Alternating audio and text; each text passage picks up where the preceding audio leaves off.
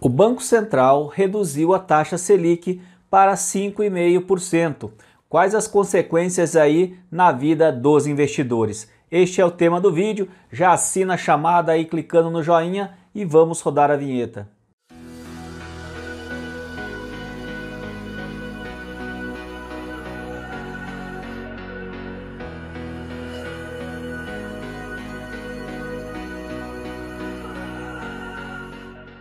Olá meus amigos, bem-vindos ao canal, com vocês Peterson Siqueira.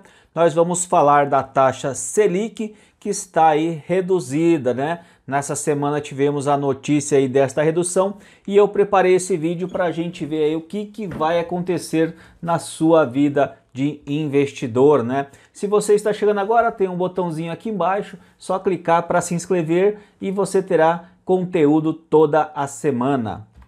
Muito bem, né? No final do vídeo eu vou deixar um bônus aí para você, tá? Fique até o final que vai ter algo interessante lá.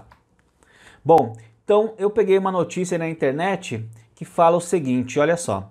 O Comitê de Política Monetária, que é o Copom, decidiu nesta quarta-feira, eu coloquei aqui, ó, 18 de setembro de 2019, fazer o segundo corte, né, de 0,50 ponto percentual na Selic, ou seja, chega a 5,50, a menor taxa de juros da história.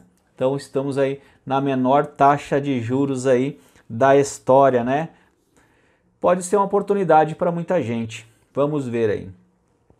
A decisão já era esperada praticamente por todo o mercado. Então o pessoal já estava prevendo aí essa redução, como mostrou uma pesquisa, né, feita pela XP Investimentos. A questão agora é para os próximos passos do Banco Central, conforme cresce no mercado há expectativas que os juros possam encerrar o ano em 5%. Então é uma notícia até que boa, né? Se o ano encerrar aí com um juro de 5% é muito bom para a gente, né? Para a gente que eu falo é um Brasil como um todo, né? Tem gente que não gostou muito dessa redução. Bom, a taxa a queda na metade da Selic, via de regra, deve ser melhor para quem está tomando dinheiro emprestado, porque serve como referência para os juros praticados, segundo aqui esse cara, Leandro Loyola, os juros de crédito pessoal deveriam se tornar mais baixos. Então, quem quer pegar dinheiro emprestado, a tendência é pagar menos, né? menos juros. Bom, eu vou apresentar uma simulação aqui embaixo agora né, nessa taxa básica aí de 5,5%, né? Aqui você tem que saber que os valores simulados já descontam o imposto de renda cobrado em todas as aplicações, exceto na poupança. Então lembrando aí que poupança é isento de imposto de renda, por isso aí muita gente gosta é, de investir nela. Aqui então está a simulação. Se você quiser, agora você dá uma pause aqui no vídeo dá uma olhadinha aqui com calma que eu vou passar bem rápido aqui é, só alguns comentários. Veja, se alguém tivesse investido 5 mil então na poupança, em seis meses teria 5 mil e 95 e 34, né? Se fosse um CDB com 90%, né? Veja aqui, o CDI está atrelado assim, né, a, a Selic. Então, quando se fala em CDI, ele é, é, atrelado a Selic. Então, baixou a Selic, diminui o CDI também aqui para rendimentos. Então, veja que se fosse aqui um CDB que paga 90% do CDI, a diferença aqui era de praticamente R$ reais perdendo aqui ainda da poupança. Aqui um CDB com 110 já ganharia um pouquinho, né? Um fundo DI também aqui perdia e no Tesouro Direto perdia também. Veja a poupança aí sendo bom investimento, quem diria, hein? Agora, se for a longo prazo, a situação aqui já muda, né? No longo prazo, 30 meses aqui, veja, numa poupança daria 5.495, já que 5.531, né? E no Tesouro Selic aqui 5.537. Veja que não está sendo um bom negócio aí para quem é adepto aí da renda fixa. Bom, Tesouro Selic, né? lembrando que ao comprar o tesouro, qualquer título público, o investidor paga uma taxa de custódia, não tem jeito, todo mundo paga essa taxa aqui de 0,3% ao ano para a B3. Não importa a corretora, então investiu no Tesouro Selic, Tesouro Selic tem que pagar essa taxinha aqui. É pouco, mas tem que pagar.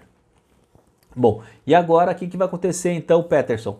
Com a redução da Selic, né? Pegar dinheiro emprestado no banco ficou mais barato. Então está mais barato para quem quer pegar dinheiro emprestado no banco. Pode ser empresas ou pessoas físicas que se forem tomar dinheiro emprestado, vai ter essa vantagem de pagar um pouco mais barato, tá bom? Com a redução da taxa Selic, o que vai acontecer? As empresas terão mais vendas e mais lucros, né? Veja, uh, tá diminuindo o juro, mais gente pega dinheiro emprestado, mais gente vai consumir, mais consumo, mais venda, mais venda as empresas lucram mais. Isso aí é um ciclo que vai acontecer. Bom, assim mais gente vai consumir, sim, mais dinheiro circulando, mais gente comprando, mais gente consumindo, haverá necessidade de contratação de mão de obras e o que, que vai acontecer? Geração de empregos. Então é aqui que o governo quer chegar com essa redução da taxa Selic. Ele quer que tenha mais dinheiro circulando, mais gente consumindo, mais empresas vendendo e mais empregos sendo gerados, né? Porque quando a economia está bem, todo mundo está consumindo, as empresas estão vendendo e isso aí é muito bom para a economia, porque todo mundo vai querer comprar mais e mais gente vai precisar aí de empregados, ou seja, empresas vão contratar mais gente, contratando mais gente, mais gente ganhando dinheiro, mais gente consumindo e aí a economia tende a ter esse ciclo. Bom, diante desse cenário, o que, que vai acontecer? Os preços das ações das empresas, vamos falar de ações aqui, estão na, que estão na B3 tendem a aumentar. Então, por que, que as ações vão aumentar, principalmente de boas empresas?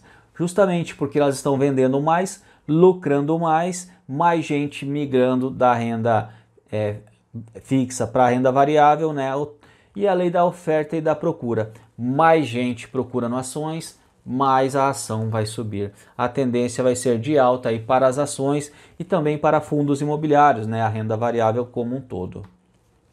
Bom, em consequência vai diminuir os investimentos na renda fixa. Sim, muita gente vai querer migrar da renda fixa para a renda variável. Vai ter um aumento da renda variável justamente porque quem é investidor de renda fixa vai ver que não está tão lucrativo, vai colocar talvez uma parcela, uma grande parcela dos seus investimentos na renda variável, porque é lá que vai acontecer então os grandes lucros. Vai então haver essa migração da renda fixa para a renda variável, né? E por isso que pode oscilar os preços aí e a tendência é de alta para ações, fundos imobiliários e ativos de renda variável, né? vai ter essa, essa migração. Isso aí é o que se espera também que aconteça na nossa bolsa de valores. Bom, a Selic já chegou a custar, ó, 14,25% ao ano. Então isso daqui era muito bom para quem investia na renda fixa. Imagine, 14,25% ao ano, você não precisava fazer nada. Toda a segurança que o dinheiro nunca ia baixar. E, e essa taxa aqui era um atrativo muito alto, mas veja que agora já não está mais tão atrativo ter toda essa segurança, vale a pena você migrar então para uma renda variável, apesar de não ter toda aquela segurança, mas a rentabilidade, se você escolher os bons ativos, vai estar na renda variável. Eu tenho 100% dos, do meu patrimônio na renda variável, né? Mas eu estou percebendo que eu precisarei migrar também um pouco para a renda fixa, é, se o meu patrimônio atingir muito rápido aí é, o valor do milhão que eu estou pretendendo, né? E faz ser uma forma de segurança. Isso daí pode acontecer com você também. Quando você tiver muito dinheiro investido, talvez você queira é, um pouco mais segurança, porque a gente vai ficando mais velho, começa a pensar mais nas coisas, né? Não pode errar mais. Quanto mais velho, mais você tem que acertar não é tempo de errar e eu estou aqui para te ajudar que você sempre acerte nas escolhas dos seus ativos, tá bom? Este canal é para te ajudar a você ficar rico e melhorar de vida, tá bom? Se você não conseguir ficar rico, é porque talvez você ainda não esteja com a mentalidade certa, mas é, se você procurar os caminhos, vai ver que tem condições de você melhorar de vida, sim. Muito bem, pessoal, quem ficou comigo até aqui vai ser um bônus para vocês aqui Bom, isso daqui é um livro, né, que eu estava lendo e o bônus é uma frase que espero que mudem a vida de muita gente. São muito os que querem, mas poucos os que acreditam. Sem crença é difícil agir na realização das metas. Tá vendo esse dinheiro aí, gente? Tá vendo esse livro? É uma forma aí de você aprender a ter dinheiro na sua vida é através de conhecimento e nunca desista das suas metas, acredite que você vai ter uma vida melhor. Bônus do Peterson Siqueira. Para todo mundo, torço muito pelo sucesso seu, da sua família e bora ganhar os dividendos.